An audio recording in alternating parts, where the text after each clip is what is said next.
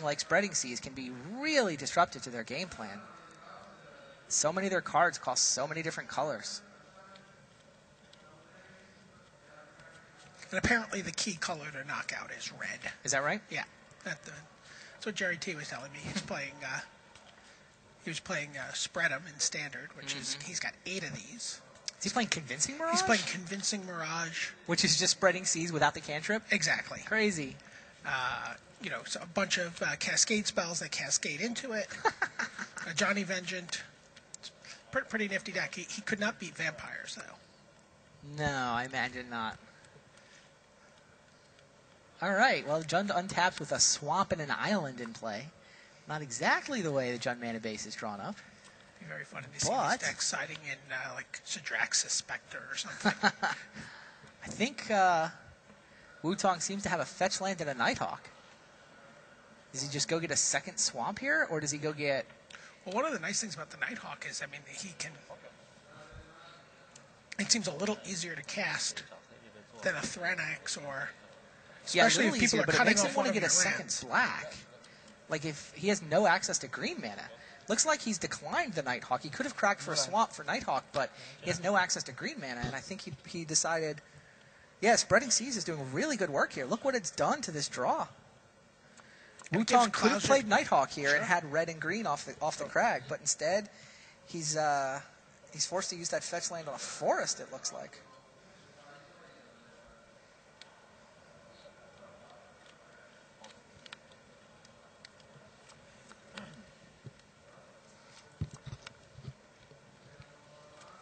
Well, it's also hard for them to lightning you without red mana. Oh, second second fetch land off the top. That's good news. Wutong can get a black It's interesting. Wutong chose not chose not to uh, crack his fetch land. He just wants to draw land. So now that he's got a different way to get green, yeah, presumably there's a swamp. So this is going to be a Nighthawk.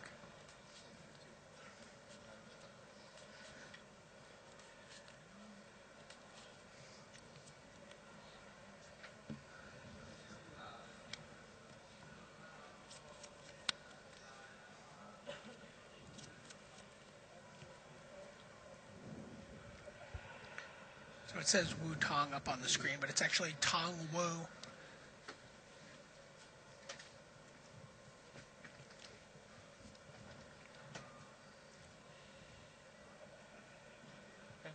And there's the Vampire Nighthawk. The consensus first pick in Zendikar draft. Nighthawk.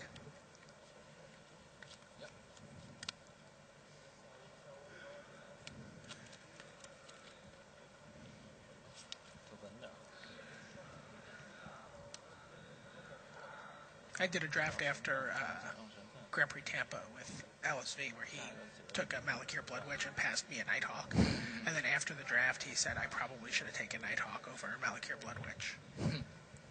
Give you an idea how highly regarded that card is right now. Sure.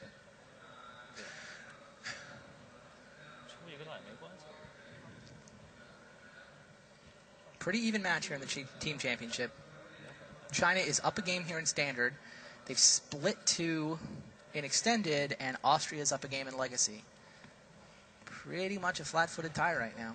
Best two out of three matches wins the World Team Championship. We need to figure out split screen technology for the webcast for next year's Worlds. There's so much action going on on all these different screens. Keep seeing dark rituals out of the corner of my eye. Yeah. Tongwu looks over. Moulin, c'est moi.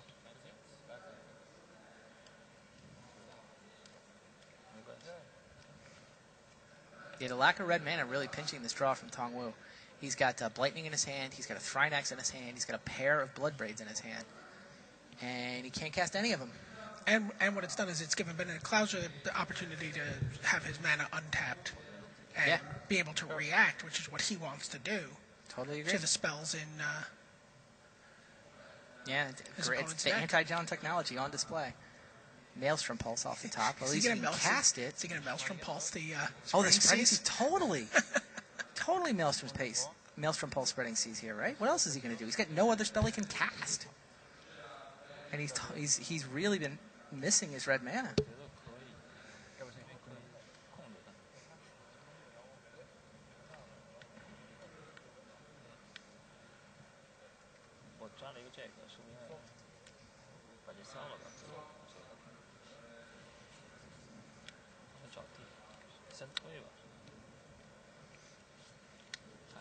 Nighthawk attacks.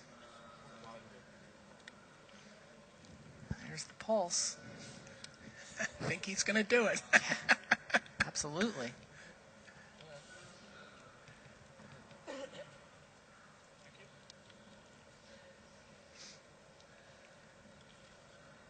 Praxis fetch land for a forest.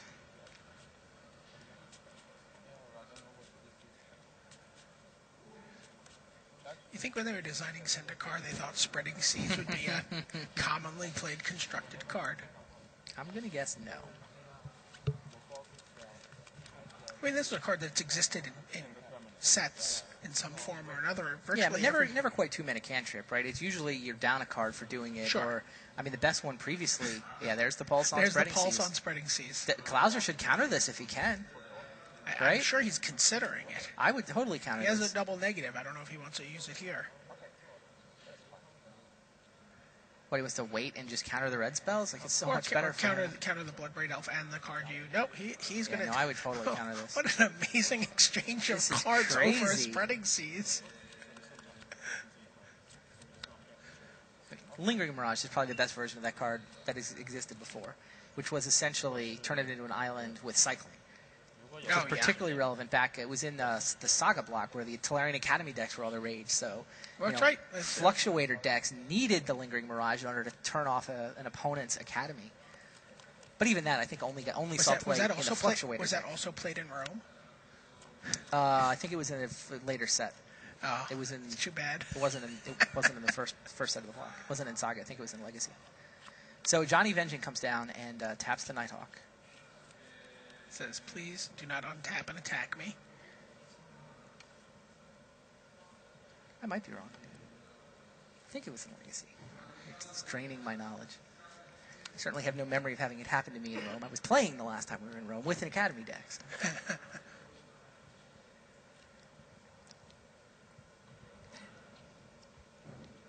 that was also extended, so stuff like Wasteland Sure. seemed a little better. It was block constructed where it showed up in Fluctuator. Anyway, yeah, enough about turning lands into islands.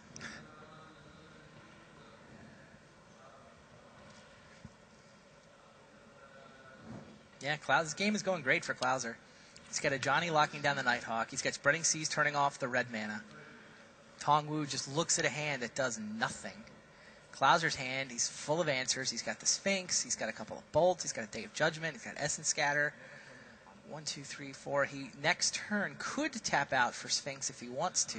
He's, he's in a position where he can probably sit behind a Ajani Vengeant until his opponent does anything and just blow up all the It's lands. true. There's no threat forthcoming. I might, I might go ahead and. I mean, his only permission is an Essence Scatter. He's got a couple of bolts. It's got to be tempting to just play Sphinx. Like, what goes wrong if he taps out for Sphinx? He gets Blightning? That's not the end of the world. Ja, das kann Gott nicht. He's going to spreading seas another land here. Oh, so you draw another Spreading Seas? Wow. All right. Yes, drawing another Spreading Seas, clearly better than playing Sphinx of Jwar Isle.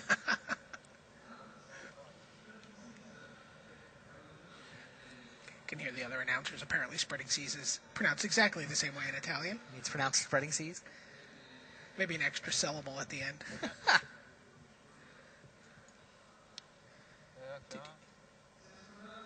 Ja, klar. Did he forget Crazy to? name. Okay, ähm, um, ja. Did he forget to Did lock he down the forget to- Nighthawk? Im mm, Nuller-Ding. How is the Nighthawk untapped? Stuff. Yeah. Okay. Counter.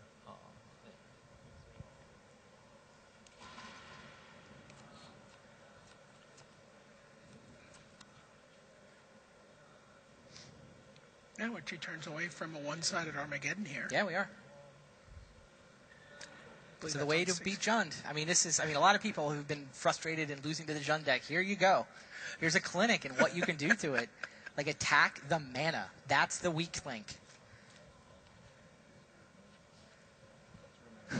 Yet another turn one uh, Blood Moon effect from the Austrian Bernard Lahner. This time it's Magus of the moon.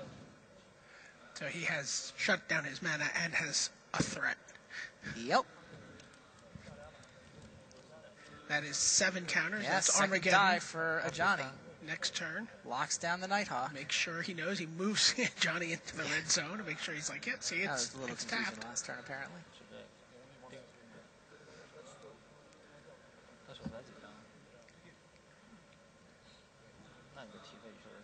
I guess tapping he- out for Sphinx right before one-sided Armageddon. I don't know about that. Does he All right, Klauser is down a game here, so all this does is even this potentially.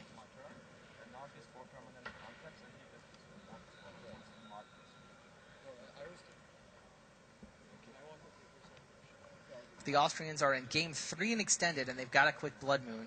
The Austrians are in game two in legacy, and they're up a game. So China took the early lead, but the Austrians are poised. Looks like a Wake Thrasher Reejerey is beating down. Say that again.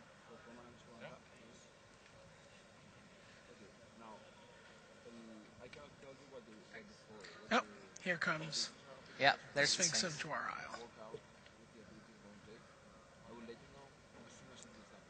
Yeah, it looks right. I don't think it, you need to leave mana up. Nothing can go really go wrong here.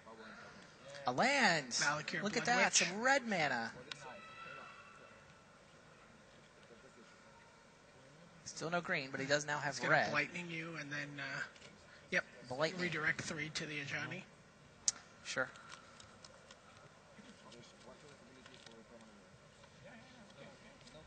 So red mana just in time to prevent the Armageddon. But Tongwu is still facing down a Sphinx. And Benedict has decided which two cards he wants to discard here. He's got some pretty good ones. Yeah, his hand is Bolt, Bolt, Day of Reckoning, Essence Scatter, and is that another Spreading Seas? It looks like it is. So of course you keep the Spreading Seas. That's easy. Yeah, it looks like he's lining up Bolt Wrath, which seems right. He's, I mean, he's got the Sphinx. He's not interested in wrathing. He's got the Essence Scatter, so he can stop any creatures. So Ajani's not going to be Armageddoning anytime soon.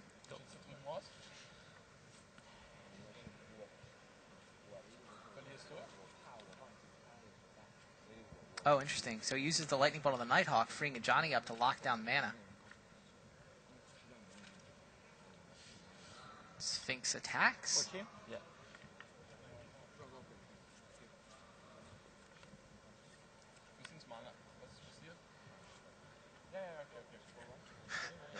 Yeah, here's another Spreading Seas.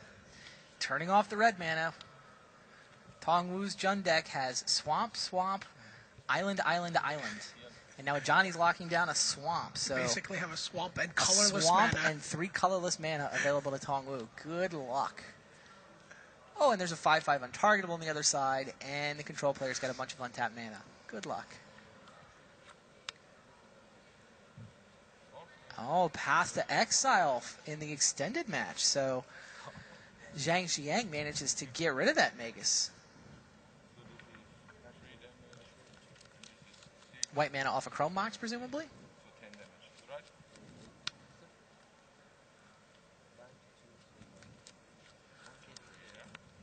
Over in Legacy, meanwhile, there's a Wake Thrasher going large and attacking. Alongside a Reejerey and a Lord of Atlantis. Yeah, the fish deck has uh, managed to prevent ad nauseam from stitching anything together, and is definitely on the attack now. Which I mean, every damage you do there is pretty relevant because ad nauseam kind of need you know, you Right. want to pay five or ten life.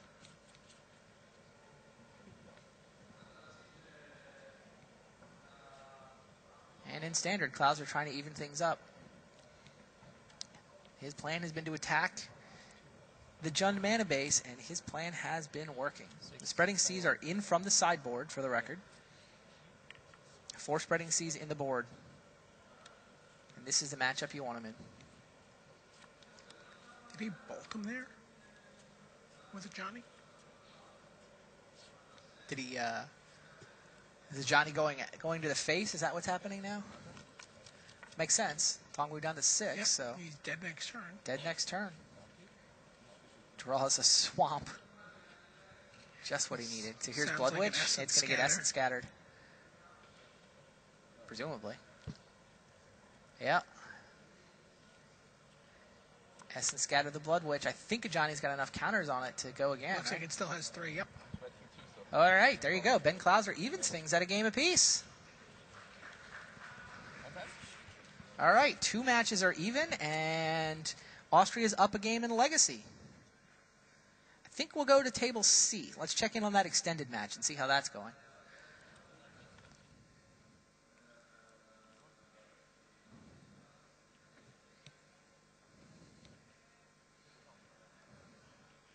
Oh, meddling mage.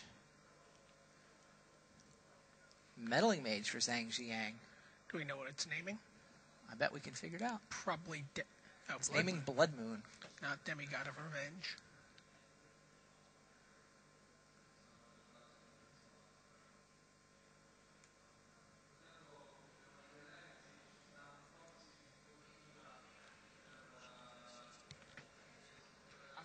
It sounds like there was no Chrome Mox involved in killing the Magus of the Moon. It sounds like a floating mana in response.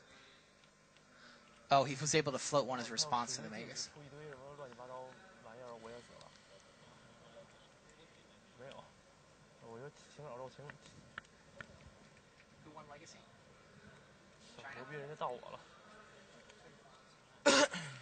All right, well, the Merfolk got the job done. The fish deck from Lee Bo forces game three in Legacy. So everybody's going to game three. Now it's best two out of three games instead of best two out of three matches. Everybody's going to game three. The one match that's underway right now is this one between Zhang Ziyang and Bernard Lehner. It's extended. You're looking at Bernard right now. Bernard is running uh, all in red deck and has not really managed to get any serious action going. So Zhang Ziyang's Tezzerator, I would think, has the advantage now. Engineered explosives for zero. Thinking about taking out some Moxes. Sure. no, no, no, no. I think. Also, the ability to take out some tokens. Should he empty the warrens? I'm assuming he's playing. Empty the warrens, yes. Meddling Mage is locking out Blood Moon.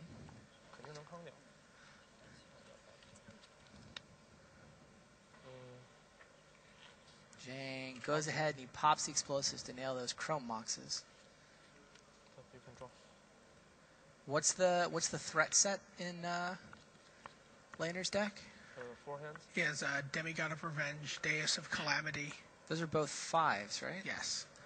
So the Mox is not super relevant. He's still got five mountains. Seems like the yeah, it seems like the engineered explosives has a potential answer to empty the warrens, which is also in the threat set. Sure. Is It is a little better on the board there.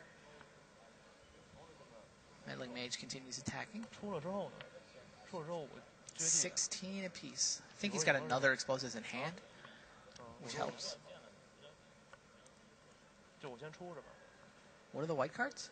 Those Mana Tithes? That's what I thought from the art. There are mana tithes. He's running three mana tithes. I think that's what he's got. Oh, now blowing the chrome moxes up makes a ton of sense. Never mind. Xiang Zhang from China is two steps ahead of us. Blowing up those chrome moxes sets up a potential mana tithe on a Deus. Could see his own hand. Yeah, that helps, probably. But yeah, he's set up to potentially mana tithe and spike away either Deus or Demigod. There's now there's Thopter Foundry. 对我还能清他那个那个繁殖力那人儿，OK，zero， Yeah, and there's the explosives for zero again. Does he get a mana leak as well? Yeah, things looking very good for China, trying to put a match win up on the board.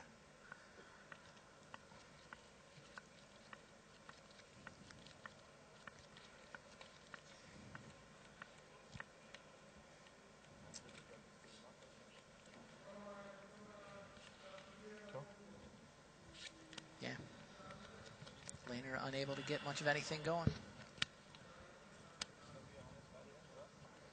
Meddling Mage Beatdown is not really the way Well, Zhang's planning to win with his Tezzerator deck, but Hey, whatever works.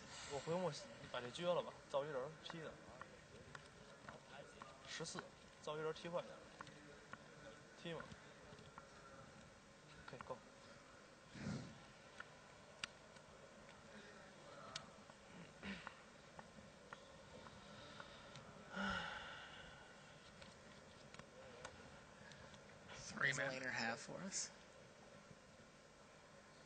Seething song, okay.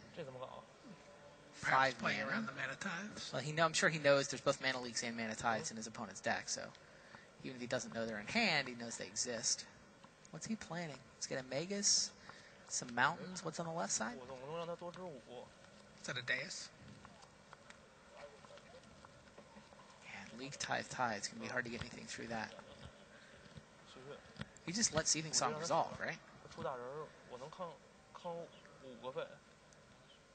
OK， Yeah, I think you just let that resolve. 恨不能给我使俩吧？F 嘛， So that's five.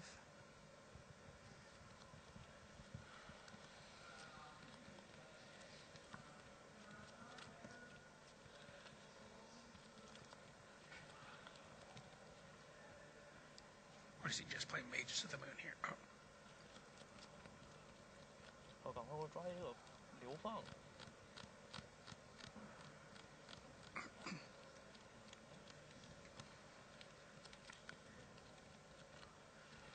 That Zendikar basic lands look so good. 或者给我抓个组合技。唉，